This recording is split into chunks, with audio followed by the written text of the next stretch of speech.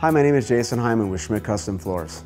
The purpose of this video is to introduce you to penetrating oil finish, specifically Loba Impact Oil, and to show you how to maintain it properly.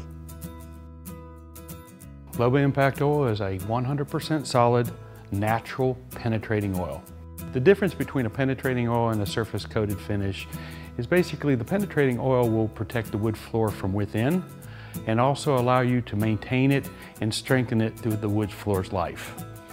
Uh, surface coating cannot do that. Once the surface coating is applied, then the maintenance can only be done to the surface of that finish and if it ever needs to be repaired, it becomes a little bit more extensive in, in cost and time. Impact oil maintenance will depend on the amount of use of the floor. Loba Impact Oil daily maintenance could be done quite easily just by picking up the loose debris that's brought in. You pick that up with a broom or you can pick that up with a vacuum cleaner. If you have loose uh, spills or material that's on the floor, you would want to pick that up with a neutral hardwood floor cleaner as quick as you possibly can.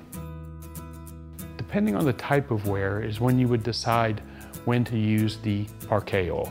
The parquet oil is designed to actually feed the wood floor a small amount of its own natural oil. This natural oil will help protect your floor from water, from any other materials being able to get into the fiber of the wood. One word of caution, the more often you use a hardwood floor cleaner, the quicker the flooring could dry, and the more often that you'll need to use the parquet oil. Even if the floor becomes neglected, it can still be rejuvenated by a deeper cleaning. This process should probably be done by a flooring professional.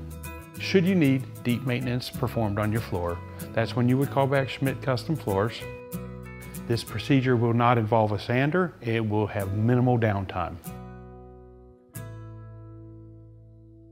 If you'd like to know more, feel free to call us at 262 547 8763 or visit us online at schmidtflooring.com and thank you so much for watching.